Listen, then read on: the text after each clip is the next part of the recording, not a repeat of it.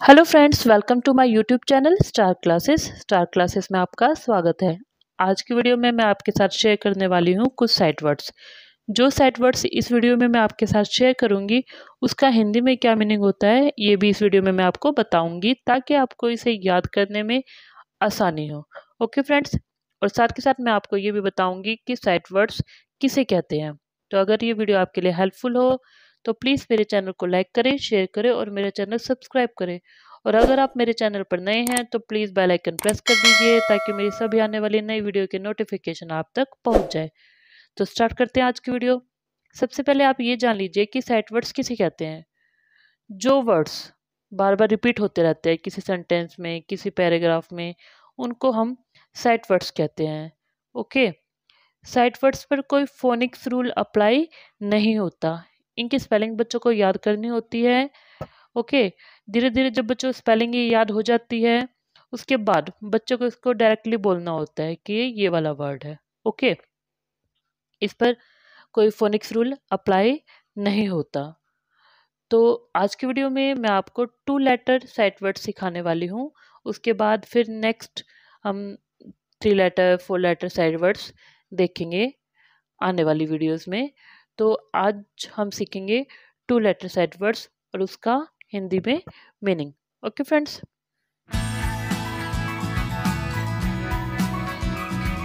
देखिए, ये है एम एम हूँ. ए एम एम एम का हिंदी में मीनिंग होता है हूँ. ये वर्ड्स बच्चों को बार बार रीडिंग करते टाइम दिखाई देते हैं. ओके कोई भी सेंटेंस रीड करते हैं या वो कोई पैराग्राफ रीड करते हैं तो इसलिए इन्हीं को सेट वर्ड्स कहा जाता है। एम हूँ, इज़, आई, एस, इज़। इसको इस नहीं कहेंगे, इसको इज़ कहेंगे। ओके, वैसे हम एस को स बोलते हैं। ओके, पर इस पे जो साइड वर्ड्स होते हैं, इस पे फोनिक्स रूल अप्लाई नहीं होता। इसको हम डायरेक्टली बोलते हैं इज़। इज़ इज़ का हिंदी में मीनिंग होता है है।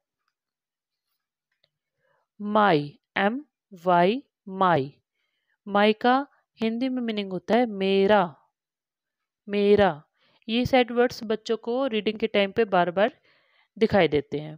ओके माई मेरा।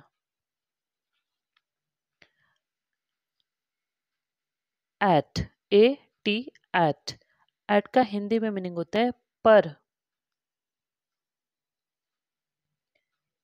If if I F if if का हिंदी में मीनिंग होता है अगर या यदि। अगर या यदि। If to T O to to को हिंदी में हम कहते हैं को। टू का हिंदी मीनिंग होता है को। It I T it it का हिंदी में मीनिंग होता है यह। यह. इट यह। We W E we we का हिंदी मीनिंग होता है हम। हम वी हम। In I N in. इनका हिंदी में मीनिंग होता है मे। मे, इन, मे। सो एस ओ सो। सो का हिंदी में मीनिंग होता है इसलिए। इसलिए। या तो।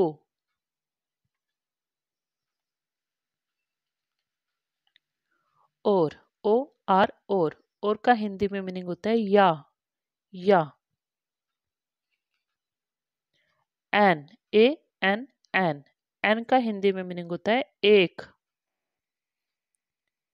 No N O no no का हिंदी में मीनिंग होता है नहीं। नो नहीं। ये वर्ड्स बच्चों को डायरेक्टली याद होने चाहिए। ओके तो स्टार्टिंग में आप उनको स्पेलिंग के थ्रू इन्हें याद करवाइए। बार बार उनको डेली उनको इनकी प्रैक्टिस करवाइए, ताकि बच्चों को ये देखें और तुरंत ये पता चल जाए कि ये वर्ड कौन सा है। Do D O do do means कर. डू का हिंदी मीनिंग होता है कर।